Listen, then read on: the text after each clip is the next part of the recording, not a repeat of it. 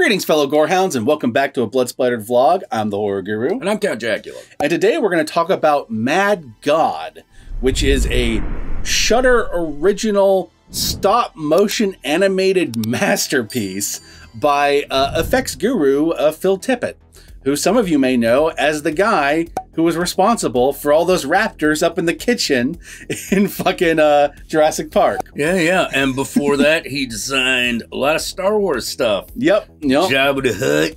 Absolutely. Fucking Sarlacc. Fucking the man has done everything in terms of stop motion and puppetry special effects. And this movie, Mad God, is a stop motion project that he has been working on for like 20 years. Yeah. Like he's been working on it on and off for a long ass time. So it really is, for all intents and purposes, his masterpiece that he's been Yeah, it's his opus. That he's been crafting for a while.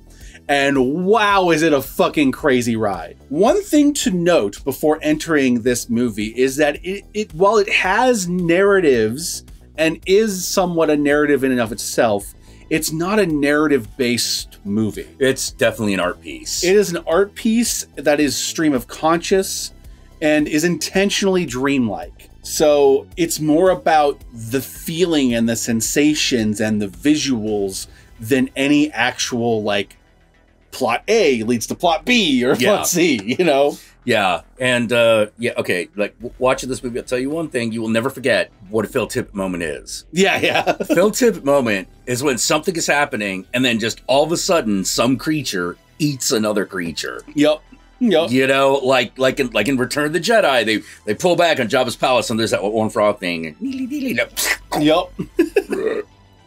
That's Phil Tippett moment. And and the main appeal of this movie is all the weird and cool designs that he creates throughout this movie. He crafts this really dystopian fucked up universe, this whole world of creatures and monsters and a whole societies that have Yeah. sprung up within this monstrous world that are they, they kind of resemble things that humans know but are also off Yeah. and different and weird and like everything's biomechanical and like fused together and Oh like, yeah, yeah. It's got everything is like it feels very much like it looks very much like a tool video because everything is like Yeah. rusted, creepy meat. One you know? hundred percent, like a fucking two-hour-long tool video. Yeah. is what it feels like. To the point where I would love to see someone cut this entire thing and just put tool music underneath it. Oh geez, that'd be so easy. You know.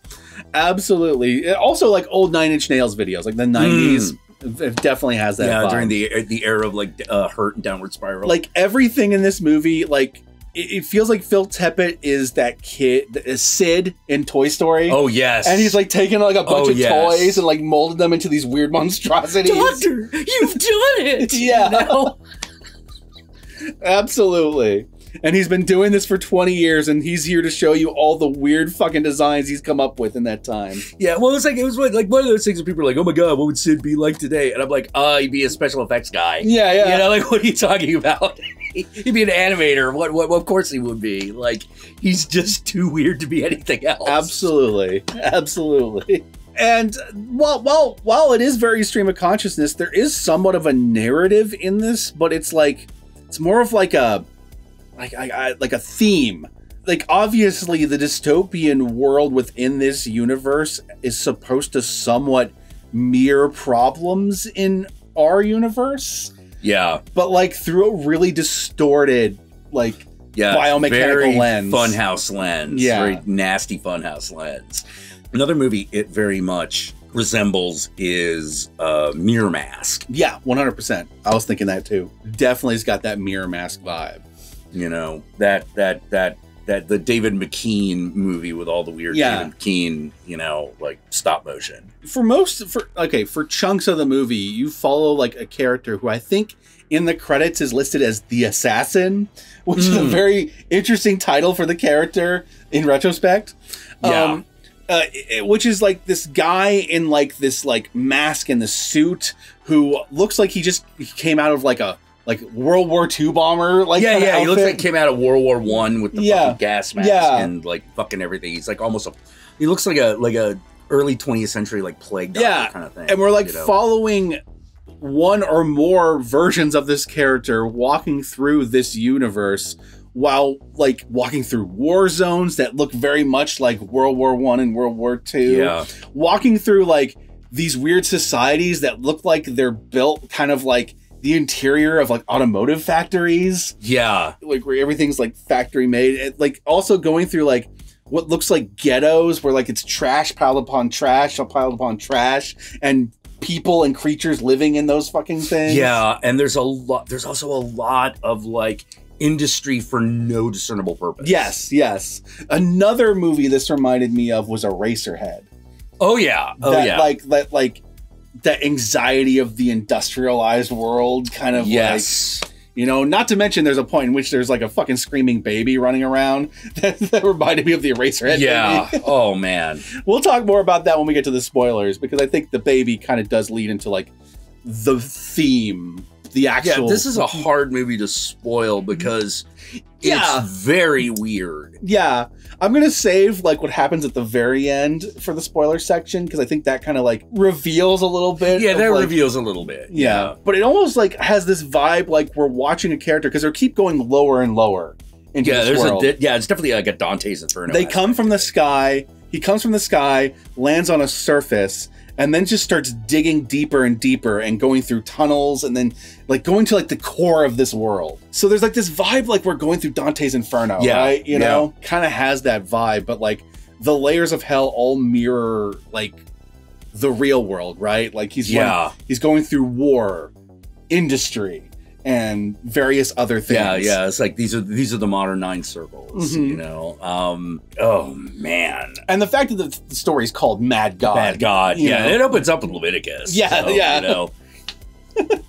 so like it's that that's all obviously intentional. Yeah, 100%. 100%. You know, you could probably you could probably really make a you know, make a meal out of like dissecting this movie for all of the direct Oh, God, references yeah. it's making. Oh, yeah, yeah. This is a thing where every frame is a fucking art piece. Yeah. You oh, know. Oh man. And you look at it and you go, like, man, it would have taken forever just to do this scene.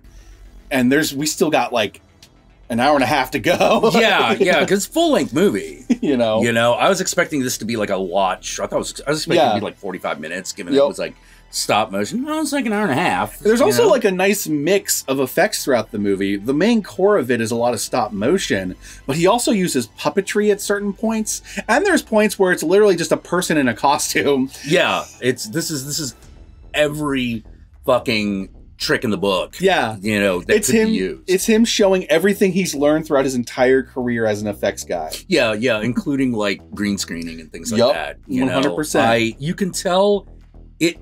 It's one of those things where I'm like, I know that there are going to be sets from this thing that are Mm. actually like complete pieces. Oh, I guarantee it. I you know, guarantee it. but I can. uh, You can also tell that some of this is going to be some of it's going to be have been composited. Yeah. You know, There's also cool little Easter eggs throughout it. Like like some of like like there's a point in which he's going through like this valley of statues. He's like lowering himself through like a canyon of statues, is a better Yeah. description of it. And some of the statues are like monsters from old movies and shit. yeah, yeah, yeah, like Robbie the robot, Yeah, yeah. and things like that. You know, and you're like, did he just like take toys? Yeah, and yeah. just make him part of the exactly. You know, Exactly. I'm pretty sure one of the Cyclops from Cyclops yeah, the Cyclops from fucking Sinbad. Uh, Sinbad- Exactly. Sinbad's in there. is, Yeah, is, is is somewhere in there and so you're just like oh man so like he's using everything he's got and I, I would love to see like a mad god like art gallery where he puts everything on display oh yeah, oh that'd be amazing. You know because you can tell that some of the things he made are like huge. Oh yeah, like on the screen like you can tell the difference between like a, a stop motion puppet that's a really tiny one and one that's a huge yeah, one. that's like Mhm. that big. You know, this is also a movie with very little dialogue. There is dialogue. It's very minimal. Yeah, um, only in select parts, but most of it is just senses. You're hearing like weird noises. Like there's a point in which he's walking through this weird industrial zone, and there's just like a baby crying on like the yeah, on the fuck- on the TVs. Flaxons. Yeah. yeah. you know, it's a lot of weird senses that just put you in this really uncomfortable mode throughout it. You know. And you even get the the the the, uh, the the vibe that the baby crying is like literally the boss of the industrialized Yeah. zone. Yeah. You know. it's like, what is going on? There's this weird fucking like plague doctor witch at one point, and this weird fucking alchemist goblin. I don't know what else to call these things. Yeah, yeah. There's they. I, I I'm- I'm sure they have actual names in the credits, but everything is so weird that you kind of got to guess what everything Yeah. is when when they get to that. you I love the junkyard monster that eats the other monster. Oh, yeah. yeah, because that happened. That happened several times. Yeah. yeah. It's Phil Tippett. You gotta have that. Unfortunately, like like like most of this is just us saying, "Oh man, I like that scene. I like this scene." Because Yeah, it, this this is a movie that is in, intended to be watched. Mm-hmm. You know, it's not. It ain't. It ain't about the plot. But I will talk more if you want to know like my thoughts on like the meanings of the movie a little bit. We're gonna go a little bit more in depth into that when we get to the spoiler section and talk about the end of the movie because I think it's very revealing as to what Oh yeah, you know Phil Tippett is trying to say, if he's trying to say anything. Like you know, like, yeah, yeah, yeah. Which I, I guarantee he is. The Yeah. question is whether or not he realizes what it is. Well- because sometimes people build things and they're like, "What were you Well- saying with this?" Like, I don't fucking know. It- it's one You of, know? it's one of those things where like you're kind of getting a peek into his view of the world and how horrible the world is. Yeah, and whether or not he's saying anything specific with that other than this is how the I, the world as I see it is, you know, like it doesn't need to be more than that, right? yeah, yeah, yeah. It can just be like it could just be an examination of the Sisyphean Yeah. nature of the modern world. you This know? is Like- truly art as an expression. Yes. Yeah, it is is intended to express an emotion, and Mhm. feeling, and a sensation of a kind of horror and yet ghoulish glee. Yes. You can tell he's having fun throughout it. Yeah. Even though it's really fucking dark and fucked up. Yeah, you know, ghoulish glee and and and dark things. And it's just really cool. I could definitely this is definitely one of those ones where I could see myself like just kind of watching this a million times and just like going over everything that's happening. Another movie reminds me of Pink Floyd's The Wall. Oh yes. Yes. Yeah. Like it well, especially once we get to that one monster. Yeah, yeah. You yeah. know, shitting on everything. Oh my god, the You weird know? shitting bull thing that's like ruling the industrial zone. Yeah, you're like, what? whatever the You fuck know? that thing was. This movie is a Shudder original, so if you want to watch it, you're gonna have to watch it on Shudder. I'm sure it'll be available some place, other places soon, but for now, it's on Shudder. So if you want to watch it, go subscribe Yeah, there. Which is it's a good place for it to be because yeah. like if you like Shudder, you're probably gonna like this. Oh, for sure, you know? That's called finding the audience. for sure. And with that said, my fellow Gorehounds, let us move on to the spoilers.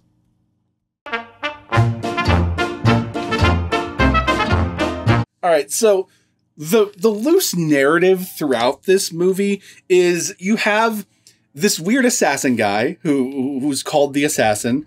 Uh, he's wandering through uh, this zone and he's got a map that's leading him somewhere, and he's got this briefcase he's carrying with him.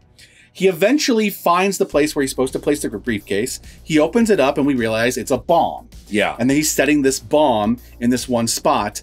And we also notice that he's surrounded by briefcases, so he's not the first person Yeah, to try to blow this place up. Yeah. Yeah. but then he gets captured uh, by a weird mutant thing and then the society that he is captured by puts him on display and like performs these surgeries on him Yep. Uh, ultimately culminating in them pulling this weird baby out of him Yeah. Yeah. And that's when it starts to resemble Eraserhead. yeah yeah You know? but then we like reveal that he was sent there by this character who in the credits is listed as the last man Yep. Who lives in the sky above so i guess they're the mad god They're the mad god. Yeah. Uh, maybe they're a metaphor for Phil Tippett himself. I don't know. Well, that's that's I that I was feeling that too. Where I Yeah. was like, you could tell that a lot of what is going on is also a, if it's on top of anything else that it is is a commentary of the emotional struggle being a stop motion artist. yeah, yeah. you know, like especially when you get to the industrial scenes where like it's all of this work is being done to just build things that don't matter. They don't Yeah. do anything Yeah, yeah. they just fall over.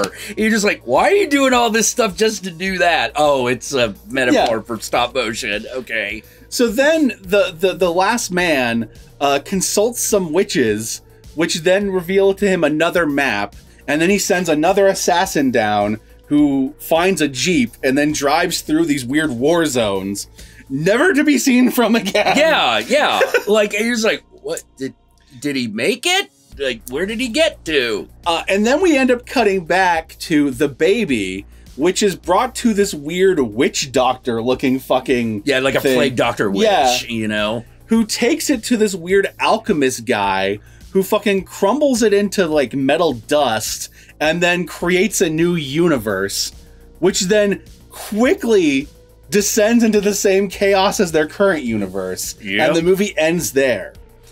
Um, which I think kind of reveals like the whole theme of the movie. This whole movie is about the cycle of of human destruction. Yeah.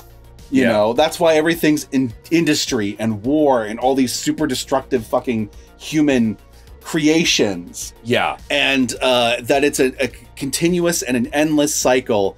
And even starting anew again will just repeat the cycle anew. Yeah. Yeah. It's like God man, you know, man constantly creates a world that Yeah. God destroys. Yeah, you know, yeah. Like and they can and the, and the, and part of that is us trying to to, to fend off the inevitable for as Yeah. long as possible. Yeah. You know, like we're, the, the apocalypse is coming. One day it'll get here. Yeah. Yeah. You know, but maybe not today. Yeah, You know? yeah. And so while there's a lot going on in this movie, and there's individual commentaries on individual scenes, like the whole industry scene is very much a commentary on the way like uh, the industrialized world doesn't give a shit about the average man. oh yeah, Like- yeah. It cares for what it does, Yeah. but sometimes it doesn't even know what that is. Yeah, and how disposable a worker is. Yeah. you know, because you have like all these little straw man worker guys, and they're just constantly being killed by the very industry that they're propelling. Yeah. But then once they're killed, a new one just takes their place, and they yeah, yeah, they yeah. keep doing the job. Yeah, and at the end of the day, like, what is what does the machine actually accomplish? It's just setting up dominoes. Yeah. And it's like yeah, what? yeah, yeah, yeah. It's just setting up dominoes, and the cycle continues. It's a cycle in and of itself. Yeah, it reminded me a lot of that. epi- Um, there was my favorite part. One of my favorite parts of uh, the show Gravity Falls is actually the putt putt golf course. yeah, yeah. Where they do the whole like John, John Henry sequence where this little Yup. guy is like moving the fucking golf ball like you know through the tunnel and do thing. No, Big Henry, uh, go home, Polly. You know, and, and, and you know he dies. Big Henry dies, and then we pull out, and then the ball just comes out of the fucking yeah, yeah, yeah. it's out of the fucking hole. oh my god. And there is this reoccurring kind of theme of everybody being like a cog in this weird fucking war machine. Yeah. This weird machine. Yeah. You and know? there's not even like a discernible enemy. No. You know, it's just there's just this is war. Who's Yeah. fighting. Uh huh. Yeah, yeah. Well, it, it's like it's like it's definitely a commentary on the endless cycle of war that humans find themselves. yeah, in, right? yeah, yeah. Because the the two I don't even think we actually see like armies fight. Nope. You we see a lot of explosions. We see guns going off. We see fucking anti-air. Fucking Yeah, we see like we see all the machines of war, Yeah. but we don't see an Yeah. army. Yep. You know, we just see like the, the people who like operate the machines and make them. Yep. Yup. Absolutely. you know and like it's a lot of the stuff in the beginning seems to exist for partially to perpetuate this war but at the same Yeah. time potentially stop the assassin from fucking making ground fall Yeah. Who it sounds like maybe trying to stop the war by just destroying everything. just but blowing everything up. Yeah, yeah. just be like no I- I don't but- you know, the intentions aren't entirely clear, but that's kind of the point. You know. yeah yeah I, I don't know why yeah the the, the fucking the, the assassin in the jeep is a part of the movie i didn't quite get Well, because yeah. because I'm like, well, does he just wait? Did he just disappear or not? Well, I think You know? the idea is, is that even the assassin is replaceable, right? yeah, yeah, Like, definitely. and it's a cycle with the assassin too. yeah, but we spend so much time with the second That's true. guy. That's true. We I spent a lot like- of time with him. Yeah, we spent like a good twenty minutes with the dude as he continues the journey. It's and true. I'm like, well, or he's gonna get somewhere, right? I think he goes through some gates, and that's the last we see of him. yeah, uh, yeah, just like whoosh, done. And I'm like, okay, I think I'm gonna need to see this a second time to understand what that part was about. yeah, for sure. you for know. sure. By the way, if you've seen the movie and you've got a theory or you noticed Oh, yeah. something we missed, please fucking make. Obviously, this is a movie that's open to interpretation, so I'm just throwing out like like the vibes I got from it. Like, Yeah. feel free to let us know below what you got from it, because I'm sure everyone's gonna have slightly different takes. Oh yeah, because it's like you know, much like Eraserhead. Yeah, you know? yeah. like it's it's that type of movie. Yep. You know, if you if if oh man, it's like a Eraserhead crossed with like a Looney Tunes cartoon. It kind of is, yeah. One moment I really, really like because I don't know if it was like an intended commentary or whatever, but like the, that that nurse that you know does her nursing job and then goes and carries the baby to the witch, the witch play yeah, the, doctor. pl- the Plague Doctor Witch. Yeah, um, and, and then like her job's done, and so she goes and like goes home, but her home is just like this hole in the wall with a fucking like straw bed. And crawls in and lays in there. So she has this really important fucking job that she does or whatever, but she still lives in like abject poverty. yeah, yeah, yeah, yeah. Her life still sucks. You know? you know, her her only benefit is that she's got her own hole in the ground. yeah. you know, like. Like I don't know if it was an intentional commentary on the way Well, I we, feel like it must. we treat been. service people, but like Oh yeah, Yeah. I, I absolutely think that that was the case because I mean, come on, because we do take like time off of like the main plot thread, so to speak, to like follow her for a little bit. yeah. Well, I mean, like it started. Like think about it this way: in America, if you were a healthcare worker, Yeah. you are not guaranteed healthcare. yeah, yeah. Yeah, like wait a minute, Yeah. like It's fucked fucking up. wait a minute, It's fucked up. You know, like You're one of the people that makes it happen. Shouldn't that be available to you? You're right there. You know, no. No, no, no, that would cost money. I know, I know. You know, that, it costs money to, to save human lives. so human lives have to be disposed in order to save human lives. Yep. Mm-hmm. Okay. One scene that I don't know necessarily what the point was, but I loved watching it was like the two trolls that are stabbing each other constantly. There's a lot of weird, cool little monsters throughout. Like there's just there's these weird like spider fucking doll head things. They look like they're straight out of fucking um uh uh, uh Toy Story. Oh yeah, You yeah. know? Phil Tippett definitely whatever he wanted to express, he expressed it, and he Yeah. fucking went all in on it. And yeah, yeah. This is the like like th- th- this is the kind of thing that should open up the Modern Museum of Art. man. agreed, because it is a complete work of art. Yeah, one hundred percent. yeah. Like this is damn. Like this is gonna blow somebody's. This is gonna blow somebody's mind. Oh, for for sure. For you sure. know like th- this is going to be one of those things that like i can see this like fucking becoming very influential in the Yeah. future you know much more fucked up. But another movie it kind of like reminds me a little bit about is like Fantasia.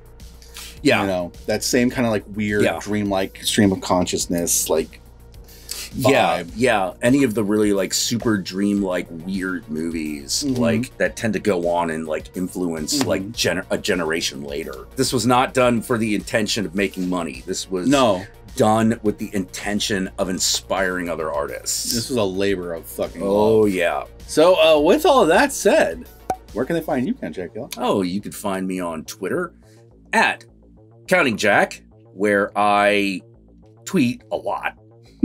I tweet a lot. I tweet. I, I, I, I have a. I think I have a problem. I, I gotta get my tweets, man. gotta get my tweets. Got to get my tweets, my tweets, and my twats. You know, I gotta gotta have it all. Where I, uh, uh, uh, on top of following a lot of loot accounts, I also follow a lot of horror accounts, Mhm. and I Like a lot of horror and horror accounts. horror and horror. Yeah. Yes. Yeah. I also stream throughout the week um, on YouTube and Twitch. My Twitch account is Count Jackula. It's true. Yeah, yeah, yeah. Count underscore Jackula. True. Search me on Twitch. I'll be there. And you can also find me on Instagram. I am on Instagram a lot. I just don't post a lot. I, Yeah. I'm a, I'm a, uh, what do you, what do you call it? A lurker. Yeah. I'm an Instagram lurker. You know. Y'all know me. I'm the Horror Guru. You can find me at the Horror Guru on Twitter, on Twitch, on Instagram, and Facebook. Just look up the Horror Guru or Bloodspotted Cinema, and I'll be there. Be sure to like, comment, and subscribe, and don't forget to ring that notification bell so you're notified of our videos immediately upon their upload. And if you'd like to help out either of us more directly, be sure to check out our Patreon pages. And remember, if you decide to go the Patreon route, even a dollar a month can go a long way. And with that said, my fellow Gorehounds, and you made it this far into the vlog, then I want you to comment below, and be sure to comment below using the hashtag creeping evil meat. That way I know, that way Jack knows, that way the whole world knows you watched this vlog all the way through. And with that said, my fellow Gorehounds, we got one more vlog to record this week because we got to catch up. Um, it was, was a slow couple of weeks for us, and we're finally trying to get back into the vlogging things. Yeah. And uh, with that said, peace out, and I'll catch y'all later.